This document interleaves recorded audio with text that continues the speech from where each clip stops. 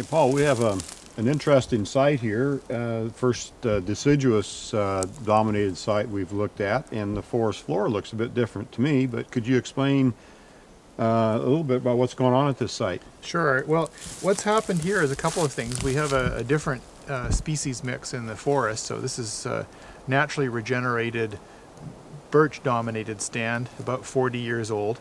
And if you look at the forest floor, there's a couple of things that are really immediately obvious. First of all, you can see all of the deciduous leaf litter on the surface. But when you dig down into the forest floor, you see something that's quite different from any of the other uh, humus forms that we've observed at Aleza Lake.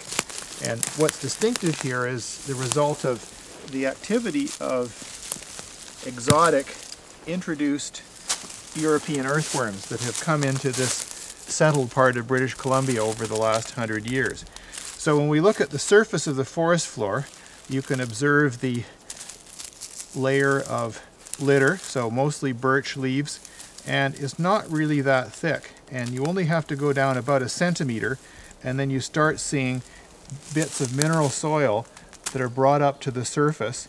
And then as you poke at the surface of this forest floor, you can see that there's actually been quite a good degree of intermixing of, of uh, mineral and organic material. And in fact, there's the culprit. There's one of these earthworms. And so what they're doing is creating an example of mull humus, which is not really very common in, in uh, this part of British Columbia without the presence of these earthworms. It's just not usually found in forest ecosystems.